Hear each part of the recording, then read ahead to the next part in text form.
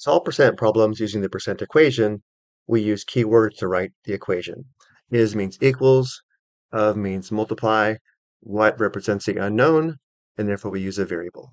And there are three types of percent questions. First, let's consider what is 15% of 120. To write the equation, for what we'll use x, is means equals. We express 15% as a decimal, which is 0.15. Of means multiply, and then we have 120. To solve for x, we simply multiply, giving us x equals 18.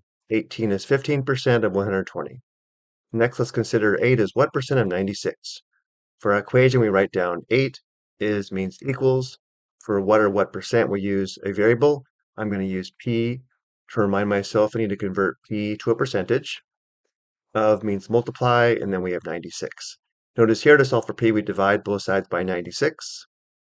Simplifying, we have p equals 8 divided by 96, which is equal to 0.083 repeating, which is the percentage is 8.3 repeating percent.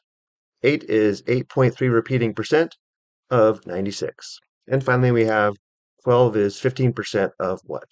So write the equation, we have 12 is means equals, 15% is 0.15 as a decimal. For of what? We have times x. To solve for x, we divide both sides by 0.15. Simplifying, we have x equals 12 divided by 0.15, which equals 80. 12 is 15% of 80. I hope you found this helpful.